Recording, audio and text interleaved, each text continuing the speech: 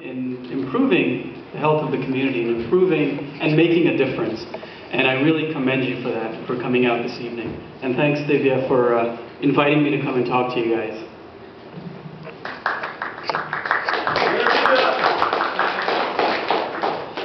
So um, I'm not sure, you know, what you guys' um, background is in terms of uh, what you're working on with the organization and how you're interested in hunger and what these terms really mean. You might have heard the terms hunger, malnutrition, undernutrition, and really feel passionate about that. But if you look at some definitions, hunger, what we look at as a definition is a feeling that we would get when we, have, we don't have food. Uh, but the actual um, definition by the FAO at the United Nations is if you take less than 1800 kilocalories per day, then that classifies you as being hungry. Now, some of you may do that anyway just to diet or if you're trying to lose weight, but a routine, typical uh, person, under that kilocalories that you're taking, you're considered to be hungry. Now, undernutrition, you may be eating the right things, but you don't have the proper nutrients that you need to grow. And that becomes extremely crucial for kids as they're growing up in the first few years of life. Another term that you might have come across is malnutrition. And malnutrition can be either overnutrition or undernutrition. So if you're getting obese, and one of our initiatives at the organization is actually the other extreme is childhood obesity, um, that would also classify under malnutrition. How many of you guys actually know what a global hunger index is? Okay. Well, global hunger index is a number that's given to various countries throughout the world, and that tells you, you know, how your population is doing in terms of hunger. So data is used from the FAO, from WHO, United Nations, the local data, and they come up with one number for each country. And that gives you the ranking of how bad your hunger problem is in the country. And they have data for about 122 countries and a number that's given to those countries. So the indicators that are used, how do you come up with that number? There are three parts to that number. One is the proportion of people who are undernourished. The prevalence of underweight kids that are younger than five years of age and the death rate or mortality rate of children younger than age 5. So when you take these three fragments and you put them together into one composite number, that becomes the global hunger index for that country. So the latest number for 2011, the GHI, or the Global Hunger Index, um, the, the, the way it's categorized, so zero being the best and 100 being the worst, and the subdivisions are if you're less than 5 in the country, that's low hunger, 5 to 10 about moderate, 10 to 20 serious, 20 to 29 alarming, and greater than 30 extremely alarming. Next. Now, when they started looking at the Global Hunger Index about 20 years ago, from 1990 to 2011, the overall composite global hunger index for the world was at 19.7 in 1990, and now it's down to 14.6. So there is improvement that's been done, but still a lot of work needs to be done. Um, and the reduction that really happened, the, the majority of that happened for kids who were under five and they were not getting proper nutrition and were being underweight. So that's where all the efforts have been done. And of the 122 countries, 19 of them, which were in the bottom two category, which was the alarming and the extremely alarming, they have moved out of those categories. So that's a good sign. So all of these efforts that you're doing at the grassroots level, at the college level, at, with all your friends, really is making a difference, even though it is a slower difference. So if you look at the trends over the last 15, 20 years, um, the reductions that have happened in the GHI in the sub-Saharan Africa was the least amount. It was 18%. Um, and the greatest reduction was 47%, that was in Europe. And if you look at South Asia, which is 25%, 39% in the Near East, 44% in the Southeast Asian region. So what is South Asia? I'm sure you guys come across this term a lot, where South Asian, that's a term in vogue nowadays. It really refers to the Indian subcontinent. And what it is, it comprises of these seven categories, uh, seven countries. Bangladesh, Bhutan, India, Maldives, Nepal, Pakistan, and Sri Lanka. So the trends in South Asian countries are as follows. So Sri Lanka was in the alarming region, and now it's moved to the serious region. So it has definitely made, an, uh, made a good move. And Bangladesh and India, which were in the extremely alarming area, have gone up to the alarming area. And if you look at this, um, India, it's supposed to be the, the leading economy, growing economy, going fast. It's home to 42% of the world's underweight children. And while you compare that to the neighbor, Pakistan, only 5% of those kids are, un, are uh, underweight.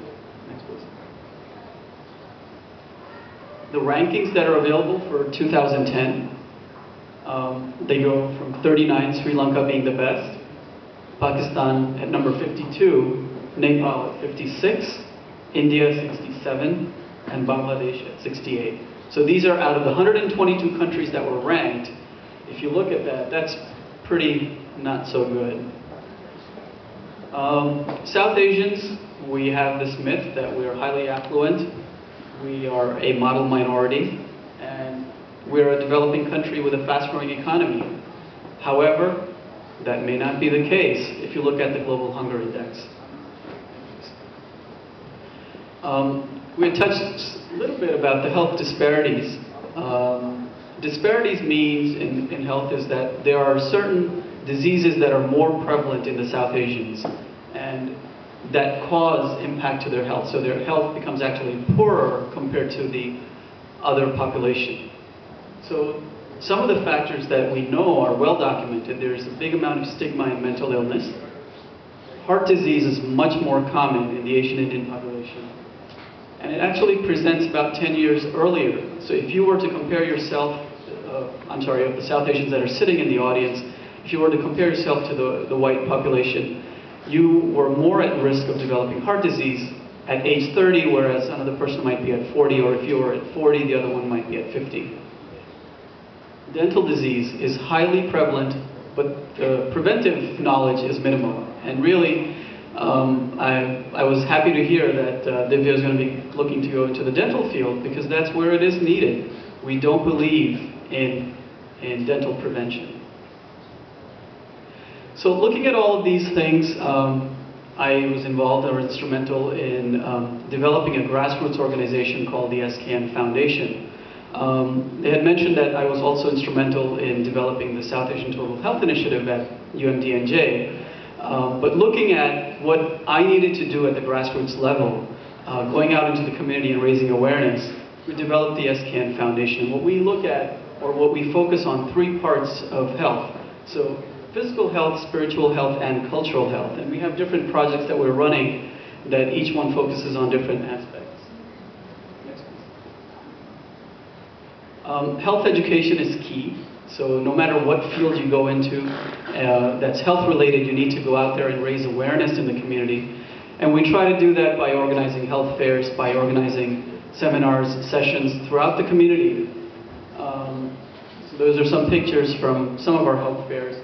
We've also um, created or translated the New Jersey Driver's Manual into Hindi. For the new immigrants that come in, the first thing that you need to know how to do in New Jersey is to drive, and a lot of them, since they don't speak English, this tends to help them to uh, at least get on the road. Next, please. Our obesity prevention initiative called Move It to Lose It. Um, so it's actually the extreme opposite of hunger. And that's focused on the use of dance um, as a form of physical activity and sort of teaching kids how you can use that to um, avoid or prevent childhood obesity from happening. So Bhangra, hip hop, Zumba are the three types of dance that we use. And um, this year we're going to be starting another project, hopefully at one of the local schools, which would be a uh, maybe three to six month pilot project where the kids would be enrolled and learn about nutrition. They would have a nutrition class and they would have a dance class. And we would see how it impacts their health and how it impacts their obesity. Next, please. We do health education through culture. It's very hard to get the community to come in and sit and listen to a dry lecture about your health. So why not take the opportunity where there already are, maybe participating in some sort of cultural event, and then interject with your health message, kind of like what I'm doing now. So we take the opportunity to, to raise awareness about your health. So here we have, we've uh, arranged concerts uh, called Sangeet Sandhya, and Colors is a dance performance. Um, the dance performance usually has a theme that has some sort of uh, cancer-related theme, and all the, the acts are based around cancer. And Sangeet Sandhya is a classical music concert, and many of you may not know that classical music or music therapy is a very useful tool for chronic disease management. So that's a thing we're trying to bring to the forefront. So people who have high blood pressure, who have cancer, who have asthma, can actually use classical music to improve their, uh, their disease. We also run a uh, Sunday school program for kids where we teach them about, besides their, uh, their culture and their scriptures, we teach them yoga. So these kids are learning about how to focus on, on their health, how to learn about uh, their heritage. We um, are working to develop some scholarships. We've set up a scholarship at the School of Public Health. Any master's level student who focuses their research on our South Asian community is eligible to apply at the master's level. Um, so that's been in existence for two years. We've set up a scholarship at the local Franklin High School for dance. Um, so any graduating senior who is focusing their energy on improving the health of the community. So those are some of the uh, scholarships we do. We do um, Christmas grant programs through early intervention. Uh, that's the disability-related uh, consortium that's in central New Jersey. We do work at St. Clair's Homes, which is a halfway house for disabled kids who don't have a home. So we do uh, grant programs at Christmas time for them. Project we're working on is something called SARI, which is the South Asian Health Research Institute. It's an online uh, web portal that we're currently developing, which is focused on resources that are available for the consumers, meaning ourselves, or providers, meaning uh, people who deal with the South Asian community. So it's not just about us learning about our health, but it's also about the healthcare providers who are providing care and don't know about our, our cultural issues. So they may not be aware that if a 35-year-old Indian male presents with some sort of chest discomfort, that actually could be a heart, heart attack that's happening. So our um, goal is to educate on both ends. So what should you do? Um, and I think I started that off. Get involved and make a difference. Um, and I really commend you guys for, for being here and listening to this. Thank you.